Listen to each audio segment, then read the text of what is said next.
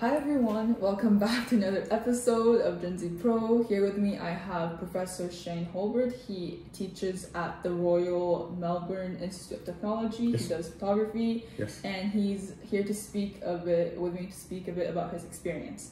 Um, so I don't know I just said a lot, but could you Sure, sure. introduce yourself yeah, a little yeah, bit? Yeah, yeah, yeah, yeah. Um, yeah, so I am, uh, I, I, I work at RMIT. Uh, I teach photography and I teach sort of photography, visual culture, focusing specifically on the technology side of photography.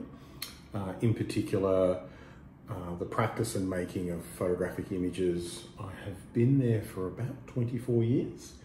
And uh, in addition to that, I also work uh, as a curator uh, and as an academic, of course. So I, I, I publish papers, um, and then I uh, and I also curate exhibitions and show my own work. Yeah. Yes. And I've seen a lot of your work online Okay. actually, and I realize a lot of them have to do with um, Australian either urban cities or the landscape. So could you tell us a bit about your inspirations or your influences when it comes to like subjects or just in style? Sure. Um, I sort of began as a bit of a landscape photographer, a, a really common um, sort of genre within within um, sort of photography and its history. Um, but within that, I'm really interested in stories. I'm really interested in the stories that we tell ourselves about Australia, and then within those stories, how that sort of defines what we would sort of consider to be our cultural identity as a, as a nation and as um, as a group of people. So I look for I look for different sites and different locations in Australia that would um, represent that, and then I also like to I guess disrupt some of those stories. I think we we tend we as a nation you know sort of gen, generally we tend to sort of tell certain types of stories to push a particular narrative about what Australia is. Right. But sometimes those stories are just not right, and, Mm-hmm. and so I, I quite like to find the stories that the sort of the hidden stories behind that, I guess, um, and then make work that that critiques that story. Yeah. Mm, So, for example, we've got this big river in Australia um, called now called the, the, the Murray River, um, and prior to that, it would have had lots and lots of different indigenous names from the First Nations peoples in Australia before the, the British settlement. But what's interesting about that river is that it was originally um, the first sort of European to find it was a guy called Hamilton Hume, who was an explorer, uh, and he was the first Australian-born explorer. So he's the first, uh, first of those, that generation of explorers in the 1800s that was actually born in Australia. So he discovered the he sort of discovered the river um, and mapped it a bit of it, and then another explorer came along and mapped a different part of the river, and he was a British-born explorer, and then he named it the Murray River after a British politician. So it should have been called the Hume River, which is a, you know after the first Australian-born explorer, which would have been you know kind of interesting, but it wasn't. So those sorts of little, I find those kinds of little stories quite interesting. And then the other thing I do is I find the way that Australia imports different cultural stories and the way that we export different cultural stories. And so I photograph um, parts of Australia overseas, I guess. Um, there's a wonderful theme park in Shenzhen in China um, called the Window of the World. I don't know. If people not know No, no, it's this big theme park, and and uh, it, it's really quite funny because it just has all of these different um, different buildings that represent different parts of the world. Right. the White House from America, and, and so it's got the Sydney Opera House Mm-hmm. and the Harbour Bridge.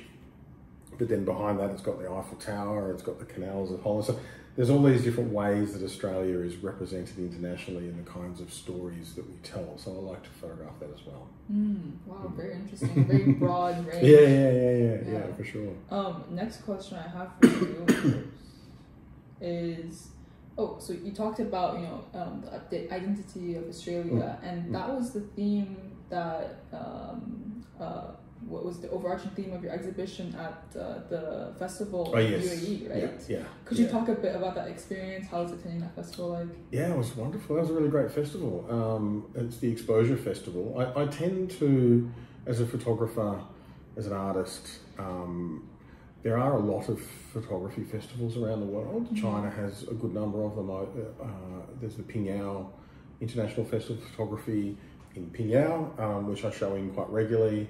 Uh, and then um, there's wonderful festivals in the US, and there's you know there's festivals and competitions all over the world. So um, it's quite uh, there's lots of different opportunities, um, and so I was nominated for that festival um, by a, a, a, uh, another photographer in um, the UAE who knew my work, um, and then the work you know people were nominated from all the different parts of the world, and then each each nominee. Uh, there was a male and a female representing each of the different continents, different areas. So I was the Oceania Australia one, um, and that was the it was the import export work that I Mm. that I was talking about. So I had images Yes. of um, you know sort of different um, sort of different uh, objects and landscapes in Australia that uh, have brought culture from overseas, um, and then the reverse, you know, Australia represented overseas as well. So it was a great show. Um, the festivals are kind of interesting because you know sometimes um, sometimes they can be a bit raw. Um, No, what do you mean by that? uh, a bit sort of low, a bit, um, you know, you've got to find your own way there, you've got to sort of find your own accommodation. oh and, yes. you know, it's a little Sure. bit sort of, it's a bit like bit. Yeah, or it's uh, like in the middle of nowhere. Yeah, it's in the middle of nowhere. But then this one in, in Sharjah in the United Arab Emirates, they flew me over, they put me and my family in a beautiful five star hotel, Wow. fed us every day. It was amazing. It was one, it was a really, um, it was a really extraordinary festival. Obviously, they, they had lots of money. Um, Mhm. But the work was really great. Like seeing work from all over, the, all, all around the world, um, in that, you know, um, all the different regions was a really, uh, it was a real, it's a real highlight of being part of something like that. Um, but then also to be able to see that work is really important. Right, and you won an award at Mm. I did, I did, I did. Well, yeah, yes, I won the Australian Oceania Award. Wow, Yeah, that's awesome. yeah, yeah, that's Um, pretty cool.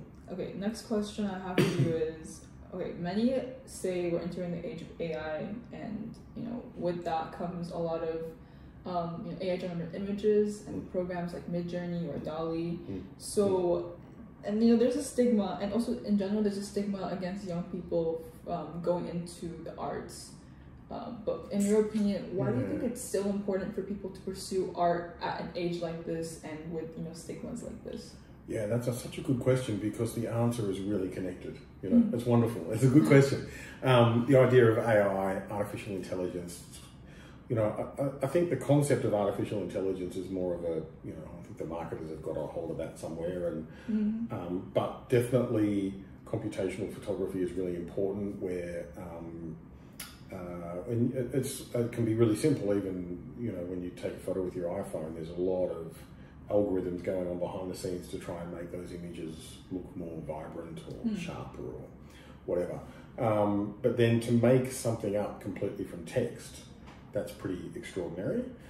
Photography, look, I think the really important thing about photography is that even even before its its um, announcement, you know, it it was it, it was and has always been really connected to the, the, the highest levels of technology at the time. So Mhm. optics and chemistry in the in the 1800s, right through to electronics, and then microprocessing, and then computers. We had the we keep having revolutions. You know, the digital revolution, Right. completely new ways of capturing and trans and capturing and, and transmitting images. And now we're in the middle of another revolution, which is, you know, the mining of the trillions of photographs that are currently on, you know, on the internet Mm. to then be used to um, generate, you know, non, you know, images that have been formed without a lens, so to speak. Uh, so I think that's quite revolutionary, and I think it's going to really change. Is it? I mean, it's revolutionary, most definitely. It's very early days. Mm. Um, it is going to radically shift the industry of photography.